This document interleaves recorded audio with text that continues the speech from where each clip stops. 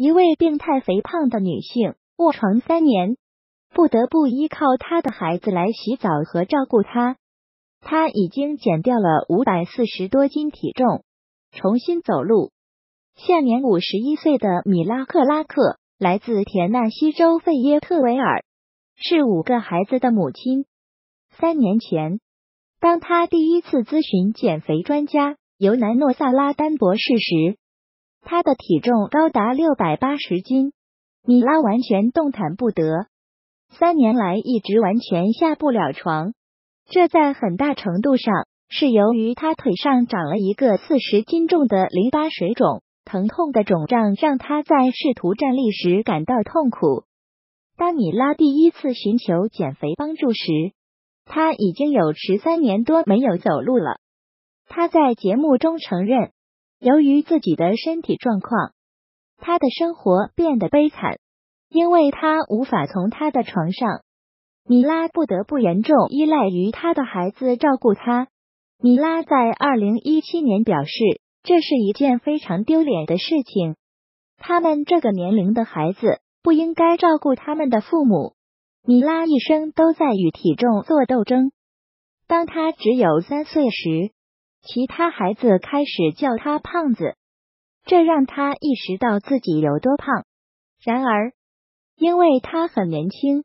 他没有注意到不健康的饮食习惯。高中毕业后，他遇到了埃尔罗伊，他们结婚了。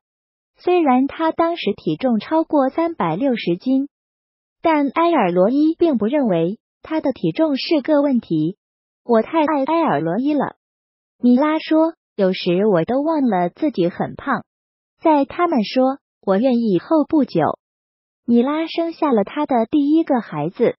虽然他们想要更多的孩子，但她体重接近五百斤，这使得她再次怀孕的风险太大。于是，这对夫妇从父母吸毒的家庭收养了四个孩子。虽然他发誓要照顾他们，但他们最终还是满足了他的需求。为了挽救自己的生命，米拉和他的家人决定搬到德克萨斯州的休斯顿。这样，他就可以咨询减肥外科医生诺萨拉丹医生。除了与米拉合作外，诺扎拉丹博士还确保他的孩子们与一位营养师见了面，这样他们就能了解母亲的饮食，因为他想确保在送他回家之前，孩子们不会再让他沉迷于吃东西。这位减肥专家解释说，他想给米拉做手术。摘除他的淋巴水肿，但他需要先减肥，以确保安全进行手术。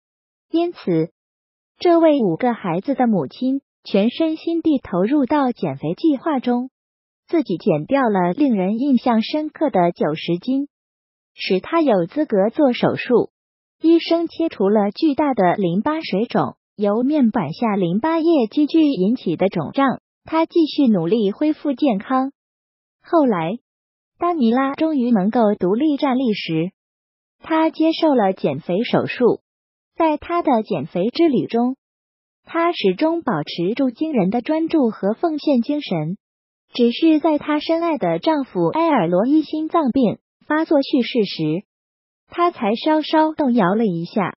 她伤心欲绝，因为她死前不能离开床去医院看望他。但最终是他的孩子们激励他坚持自己的减肥计划。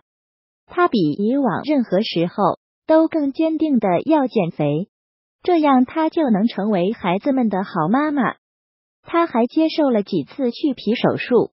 当他体重不足一百八十斤时，他的双膝都被替换了，这让他最终能够完全直立行走，不需要拐杖或助行器。